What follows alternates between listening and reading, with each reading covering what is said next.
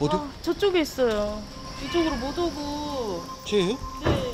사람 때문에. 아 드디어 녀석이 나타난 모양인데요. 밥제가 어? 어디요? 어, 낯선 제작진의 등장에 겁을 먹곤 차 밑으로 숨어버린 녀석. 어, 저게 뭐예요? 일이죠? 아 이름이 있어요? 네. 보성이라고. 아 김보성처럼 애가 용감하고 건강해가지고 보성이에요.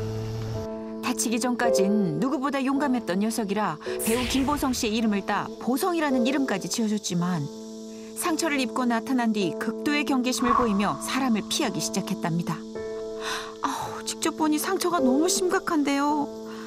배가 고플 텐데도 가까이 오지 못하고 비행 돌아 다시 차 밑으로 몸을 숨기는 보성이. 약간 얼굴이 아픈 뒤로 네. 좀 소심해진 것 같아요. 어. 아픈 뒤로 매일 밥을 챙겨주는 소라 씨에게도 곁을 내어주지 않으니 아우 녀석 이 녀석 먹으라고 챙겨놓은 밥은 늘 다른 길고양이들 차지가 돼버리기 일쑤랍니다.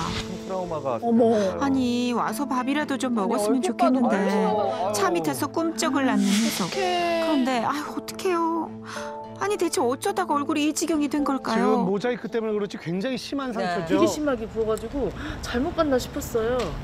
그 처음에 벌레쏘였나 이제 별의별 생각까지 다 했는데 그 붓기가 상당히 심했어요. 그리고 몇 개월 있다가 이게 터져가지고 음. 이제 피가 이렇게 막 줄줄 흐르더라고요. 어느 날 갑자기 벌에 쏘인 듯 부은 채 나타났다는 녀석은 얼마 뒤 얼굴이 피범벅이 돼 있었다는데요. 어떡해. 대체 녀석에게 무슨 일이 있었던 걸까요?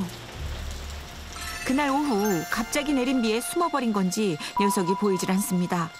차 밑을 살펴봐도 이미 자리를 뜬 뒤였는데요. 야, 치료를 빨리 받아야 되는데. 이거. 어디로 가버린 건지 안 보여? 이게 없어요. 몸도 성치 않는 녀석이 이 장맛비에 어디서 뭘 하고 있는지 걱정스럽기만 합니다. 아무래도 녀석 비를 피해 어딘가 꽁꽁 숨어버린 것 같죠. 비 맞으면 안 되거든요. 그렇게 몇 시간 녀석을 찾아 빗속을 헤매던 그때 물이 뭐 올라 있는데? 여기요. 그 위에 앉아있어요. 네? 어디요? 어, 아이고 창틀에 고양이 한 마리가 보이네요. 녀석인 걸까요? 조심스럽게 근처로 다가가 보는데요. 어, 있어요, 있어. 헉, 낯선 인기척의 경계의 눈초리로 카메라를 응시하는 녀석은 어, 맞네요. 우리가 찾던 그 보성이가 맞습니다. 그런데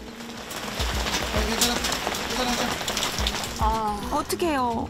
제작진을 보자 또다시 달아나 버리는 녀석. 도와주려는 건데 저렇게 피하기만 하니 어쩜 좋을까요? 구조가 쉽지 않겠네요. 네. 얼굴 한번 제대로 살펴보기 힘들 만큼 경계심이 심한 데다 내리던 비까지 폭우로 변해버린 상황에 제작진은 결국 철수를 결정했습니다. 밤새 내린 비에 별 탈은 없는지 걱정스런 마음에 아침 일찍 녀석을 찾아 나선 소라 씨. 사실 그동안 몇 번이나 구조를 시도했지만 원체 경계심이 심해 번번이 실패를 했었다는데요.